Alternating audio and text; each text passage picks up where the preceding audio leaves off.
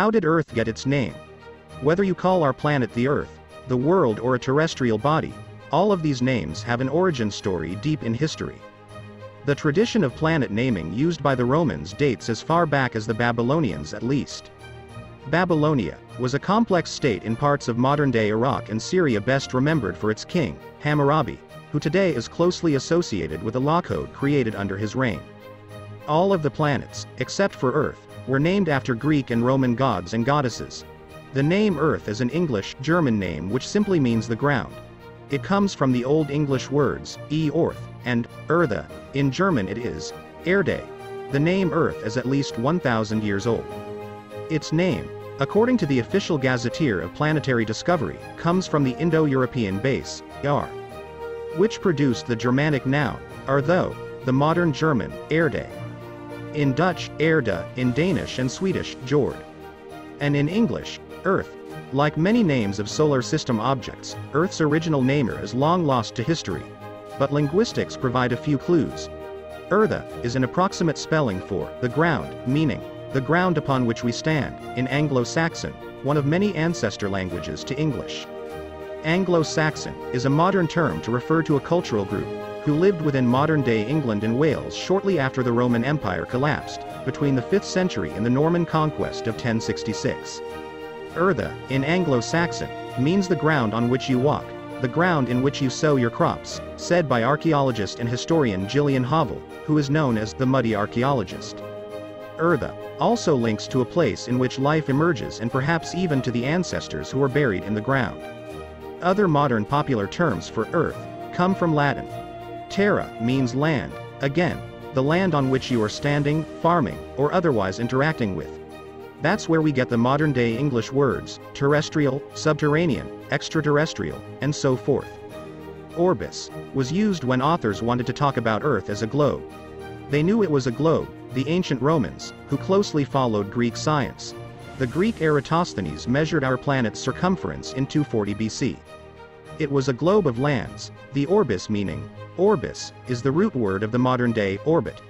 There was yet another term, mundus, which was meant to describe the whole of the universe. The world is everything that contains us, humans, but it was quite obviously separate from the planets. Mundus is reflected in the modern-day French term monde or world, in Italian mondo, in Spanish mundo, and in Portuguese mundo, among other Romance language ancestors of Latin.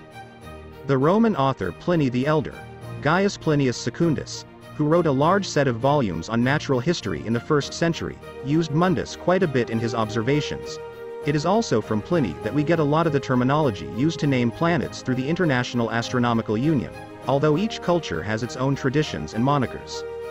The Romans gave these planets names based on how they appeared to the naked eye in the sky, centuries before telescopes were available. But these names aren't always universal, either. The facts about Earth. Translations of the Bible into English was one of the earliest recorded use of the name Earth, in Genesis chapter 1 verse 10, God called the dry land earth, and the waters that were gathered together he called seas. And God saw that it was good.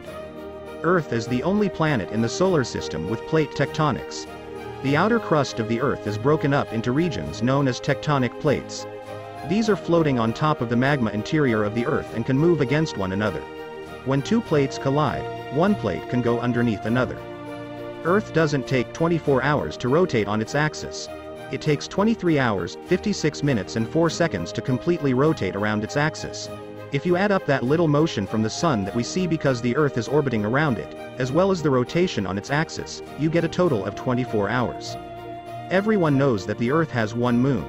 But did you know there are two additional asteroids locked into a co-orbital orbits with Earth? They're called 3753 Cruithne and 2002 AA29. The first doesn't actually orbit the Earth, but has a synchronized orbit with our planet. That makes it look like it's following the Earth in orbit, but it's actually following its own distinct path around the Sun. The 2002 AA29 travels in a horseshoe orbit around the Earth that brings it close to the planet every 95 years. Earth is gradually slowing down. Every few years, an extra second is added to make up for lost time. In other words, millions of years ago, a day on Earth would have been only 20 hours long. It is believed that, in another million years' time, a day on Earth will be 27 hours long. Keep it up, watching my videos. To stay updated with my latest videos, make sure to subscribe to this YouTube channel by clicking the button. Thank you.